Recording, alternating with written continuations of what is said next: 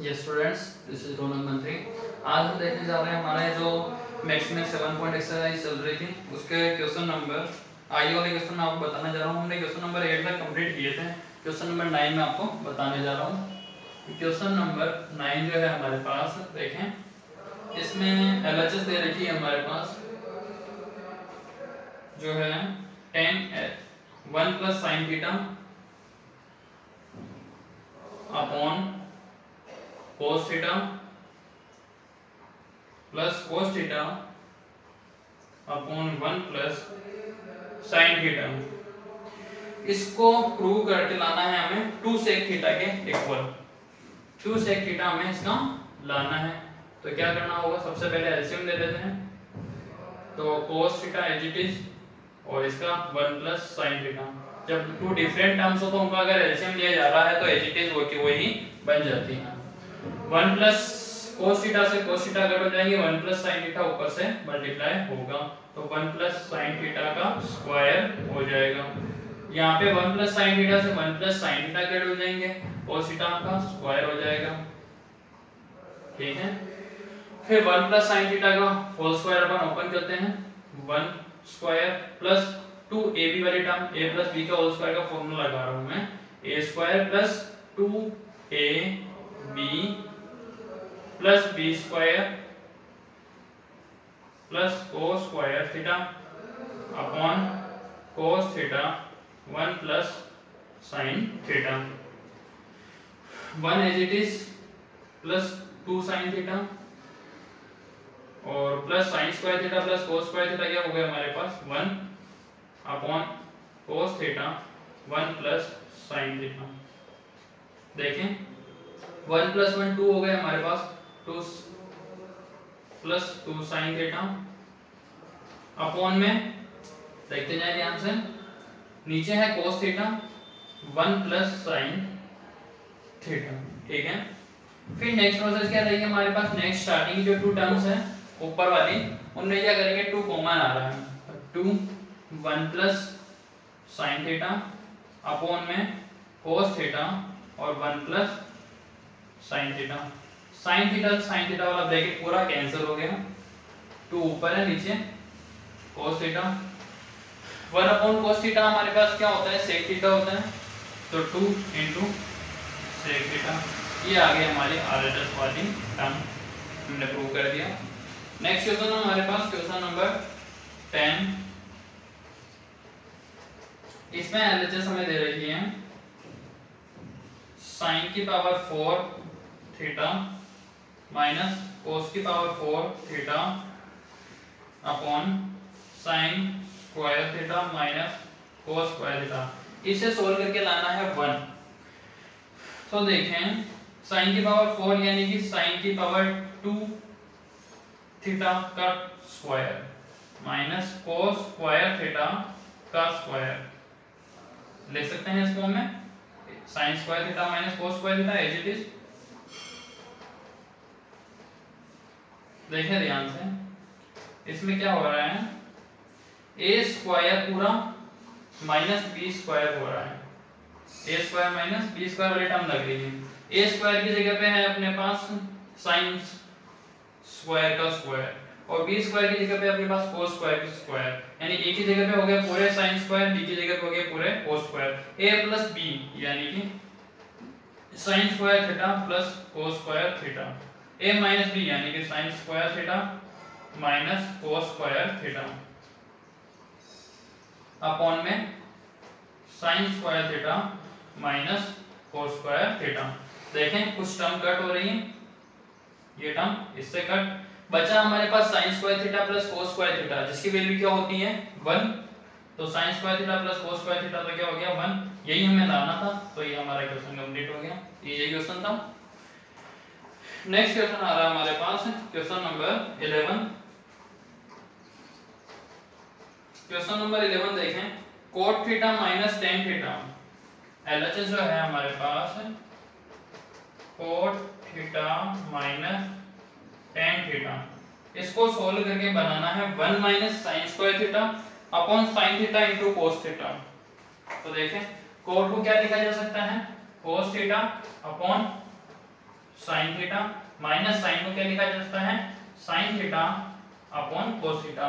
मैंने आइडेंटिटीज आप लोगों को बताई थी, उस बेसिस पे ही अपन कोट को कोस अपॉन साइन और साइन को कोस अपॉन सॉरी टेन को साइन अपॉन कोस लिख रहे हैं। नीचे के जो डिनोमिनेटर है साइन और कोस इनका एलसीएम ले जाएगा।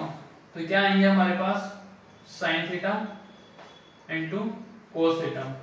Sine theta का उस टर्म में एलसीएम में डिवाइड किया जाएगा साइन साइन कैंसिल हो जाएँगे, बचेंगे कोस तो कोस कोस से मल्टीप्लाई होगा तो cos square theta minus cos cos वाले टर्म से कैंसिल हो गया बचेगा साइन थीटा साइन को साइन से मल्टीप्लाई किया जाएगा तो साइन स्क्वायर थीटा हमारे पास आ जाएँगे। अब देखें, यहाँ पे अपने पास कोस स्क्वायर थीटा को क्या लिखा जा सकता है? One minus sine square theta और यहाँ पे क्या है अपने पास? साइन स्क्वायर थीटा अपॉन में साइन थीटा और कोस थीटा। फिर one minus sine square theta, और माइनस के माइनस के sine square theta two time है तो one minus two sine square theta upon में साइन थीटा कोस थीटा। देख लेता हूँ मुझे क्या लाना है। यही टाइम हमें लानी थी।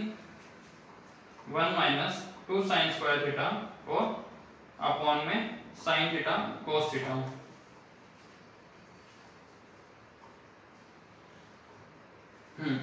तो ये हो गया अपना प्रूफ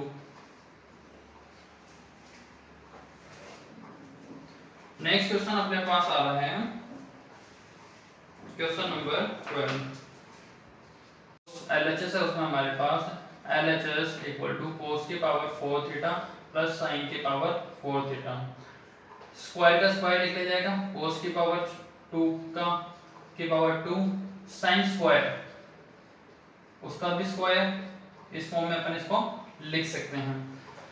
अब यहाँ तो कोई फॉर्मूला बन नहीं रहा है तो अपन क्या करेंगे कि इसमें एक टर्म ऐड कराई जाएगी और सब्ट्रैक्ट कराई जाएगी। जैसे इक्वल में अपने पास ये टर्म है, इसमें अपन माइनस कराते हैं टू कोस स्क्वायर थीटा और साइन स्क्वायर थीटा। यहाँ एक तरफ़ तो प्लस करा लेते हैं और एक तरफ़ minus two cos square theta into sine square theta. देखिए ध्यान से। अगर अपन इस टर्म को ऐड करा रहे हैं और सब्ट्रैक्ट करा रहे हैं इस टर्म में तो ऊपर वाली जो टर्म हमारे पास, उसमें कोई इफ़ेक्ट नहीं पड़ेगा, क्योंकि ये कट के वापस से क्या बन रही है? ज़ीरो बन रही है। तो यहाँ हमारे पास फॉर्मूला बन रहा है इन टर्म को ऐड कराने की वजह से। A square plus B square plus two A B तो यानी ये किसका स्क्वायर होता है? A प्लस बी का होल स्क्वायर तो cos square theta plus sin square theta का होल स्क्वायर माइनस में टू cos स्क्वायर थीटा और sin स्क्वायर थीटा हमारे पास आ गए। तो cos square theta plus sin square theta तो क्या होता है? वन वन का square minus two cos square theta और into sin square theta one का स्क्वायर वन होता है, one minus two sine square theta और कोस स्क्वायर थीटा। आगे भी इनको लिख सकते हैं। तो ये इस तरीके से हमारा क्वेश्चन नंबर ट्वेल्व कंप्लीट हो गया। नेक्स्ट देखने जा रहे हैं question number thirteen question number thirteen क्या है हमारे पास? एलएचएस देखें। Sec theta minus cos theta cot theta plus tan theta cot theta plus tan theta इसको प्रूव क्या करना है हमें? Tan theta plus sec theta इसको टेन और सेक में कन्वर्ट कराना है।